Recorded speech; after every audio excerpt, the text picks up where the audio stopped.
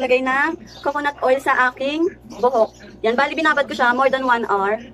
Yan. Ngayon, magbe-bleach na tayo. Ang aking coconut oil pala, wala akong mabilan sa labas ng coconut oil. Kaya ang ginawa ko, bumili ako ng ganito at ako na lang yung gumawa ng sarili kong oil. Kung paano, ganito. Bali, ito na yung kinalabasan ng piniga kong nyog. Yan, nilagay ko siya sa rep kagabi. Then, ngayon, matigas na siya. Bali, yung pinaka-ibabaw niya, eto yan, yung magiging ibabaw niya na matigas, yun yung magiging oil niya, yun yung kukunin natin. At, isasalang natin sa kawali. Medium heat lang dapat yung apoy. Yan, etong tubig na sa ilalim hindi na siya kasama. So, ito ang magiging itsura niya. Etong katas niya, yan yung magiging coconut oil natin. Then, isasala na natin siya para hindi sumama yung mga buo niya. After nun, meron na tayong coconut oil. Yan. Yan, di ba? Kung minsan talaga, pag meron tayong mga hindi nakukuha, gawa natin ng paraan. Kasi, magagawa at magagawa natin ng paraan yan. Ito pala yung nabili ko sa my parlor. Yan. May nakita kasi ako sa pa- parlor malapit sa amin. Nagbebenta sila ng ganito. Yan. Ito yung ito yung ano oxidizing um 12% siya. Then ito yung powder bleach. Yan. Bali ang ano daw nito 30 grams na powder bleach at saka 100 ml na oxidizer. Yun daw yung tama timpla niya. Ngayon, tatlong set yung binili ko kasi mahaba yung buhok ko. Yan, baka hindi kayanin pag isa lang. Kaya tatlo na, para sure na kakasya talaga. Bali, ang isang set sa kanya nito is 80 pesos. Yan, isang set na siya. Bali, nabili ko tong tatlo na to na 240 pesos with free supply. Yan, pwede rin kayo magtanong sa mga ano, sa mga parlor malapit, malapit sa inyo. Baka meron din silang binibentang bleach na set na, pang bleach na set. Yan. And ay, ay, alam ko meron sa mga Lazada, Shopee, yan, meron din nabibili mga ganyan. Make sure lang na legit yung mabibilihan nyo. And that's it ngayon, paghahaluin na natin siya. Yan, kuha lang tayo ng container. Okay. Lagay natin to.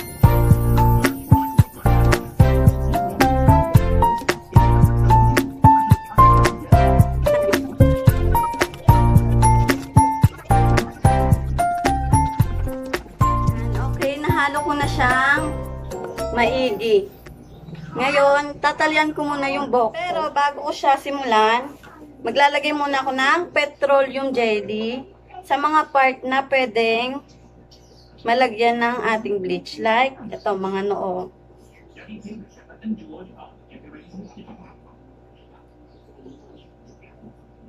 Tapos yung tenga.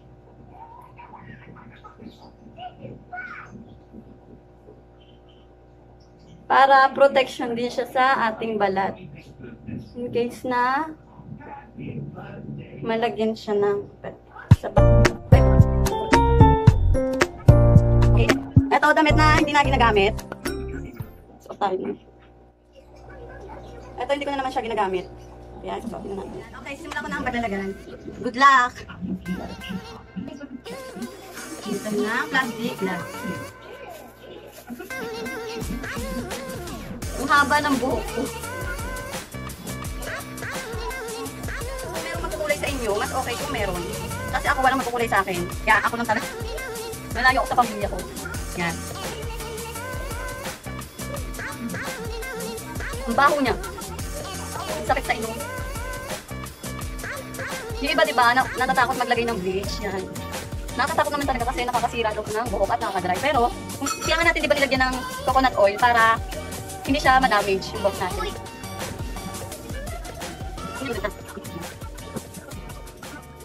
Tapos na tayo. Lalagyan ko na lahat ng bleach. Ngayon, kakobin natin siya ng shower cap. At hintayin na lang natin ng mga 20 to 30 minutes bago natin siya banlawan. Natin siya sa liwanag. Ito siya. Yan. Umi-effect na yung kulay niya. Ayan siya guys. Okay, ngayon 30 minutes na siya. Kaya babanlawan na natin siya. Yan. Ito na yung buhok ko. Ang init niya. Ang init. Para siyang niluto talaga. Yan. Babanlawan na natin siya. Gagamitan ko siya ng ito, keratin. Okay.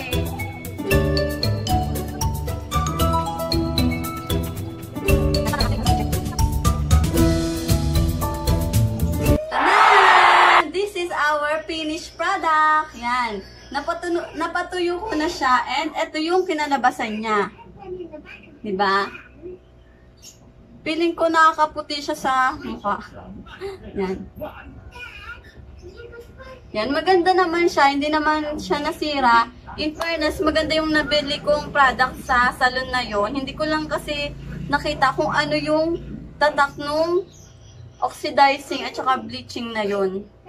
Pero maganda siya kasi hindi siya masyadong nangatis habang binababad ko siya kanina, hindi siya makati sa anit at hindi nagsugat ang aking mga anit ganyan. Hindi siya nagsugat at hindi makati. May katiman pero sa umpisa lang pero after nun nawala din. Hindi katulad ng mga naririnig ko sa iba na makati talaga at nagsusugat. Ayun, yung ginamit ko, maganda siya. At nakatulong pa siguro yung coconut oil na nilagay ko para hindi ma-damage ang aking buhok. Yan. Hindi naman siya nag-dry, katulad ng sinasabi rin ng iba na nakaka-dry daw pag nag- nagbi-bleach ka. Yung sa akin, hindi naman siya nag-dry. Yan. Medyo ano lang, hindi pantay yung pagkakakulay ko kasi ano, may mga black pa siya dyan. Hindi siya napantay. Yan, kasi nga ako lang mag-isa, ang haba pa ng buhok ko, kaya mahirap talaga. Pero, ang ganda niya, ba? Ang ganda niya.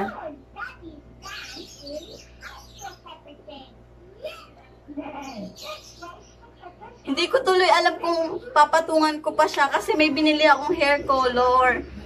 Kasi nga bala ko talaga, papatungan ko pa siya ng ibang kulay. Ayan, kaya nag-bleach ako para kita yung kulay na binili ko. Ngayon, pil na pil ko na yung kulay niya. Parang ayoko na muna siyang kulayan pa.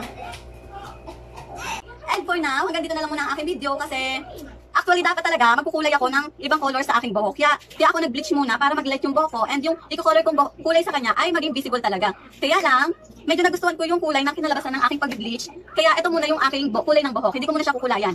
Siguro kukulayan ko na lang siya kapag nagsawa na ako. Yan. Yun lamang po and sana nag-enjoy po kayo. Thank you. See you on my next video.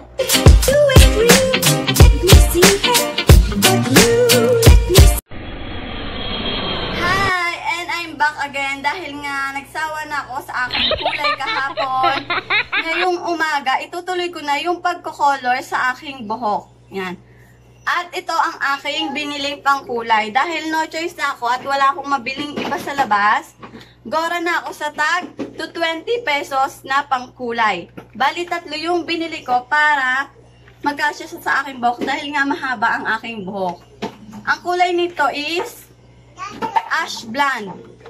Pero yung color niya sa box, parang kulay green. Tignan nyo. Yan. Kaya medyo natatakot ako gamitin. Pero, okay na to. Let's see na lang kung ano yung kakalabasan niya sa buhok ko. Let's go! So,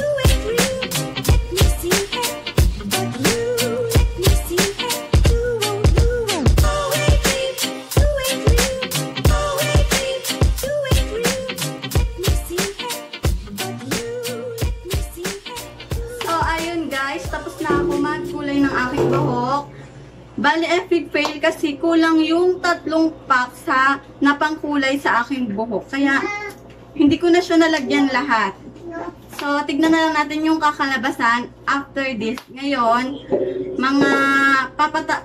Ano, hintayin muna natin ng mga 30 minutes pataas bago natin siya banlawan. I'm back! And ngayon, tapos na ako maligo at napatuyo ko na ang aking buhok. Ito na ang aking final look after natin siyang i-bleach at kulayan. So, ayan. Yan. Medyo hindi lang ako na-satisfied sa result ng aking buhok. Parang mas gusto ko pa yung kulay ko nung after ko siyang i-bleach kahapon. Pero it's okay lang. Siguro kailangan natin siyang i-bleach ng 2 to 3 times para mas mag-light pa yung buhok ko at mas maging visible yung kulay na ilalagay ko sa kanya.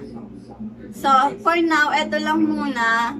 And sana nag-enjoy kayo and see you to my next vlog. Thank you!